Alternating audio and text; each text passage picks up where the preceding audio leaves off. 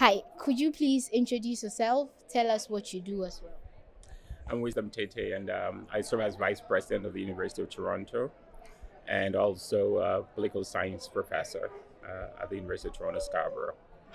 And uh, my research is on media and politics, civic engagement, uh, and uh, technologies, and as they pertain to uh, politics and civic engagement. So that's my work.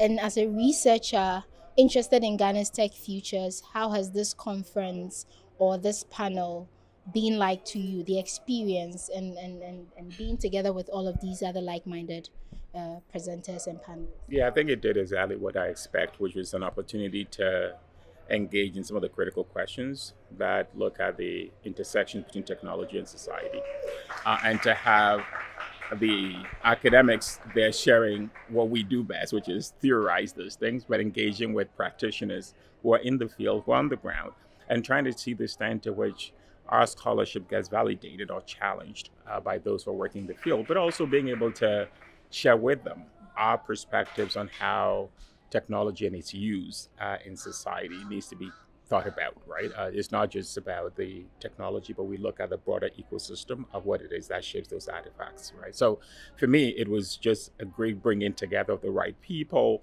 talking about the right things, asking the right questions, and critically engaging in what it is that this means in the particular context of, of Ghana. And being able to extrapolate from the Ghanaian context into other places where we do our research, right? So it's not just about narrow Ghana focus. It's about what do you learn from the Ghanaian experience that you can extrapolate from into other places, and what do you bring from other contexts to shape the Ghanaian context as well. Okay. All right. All right. That's all. Thank all you right. so much.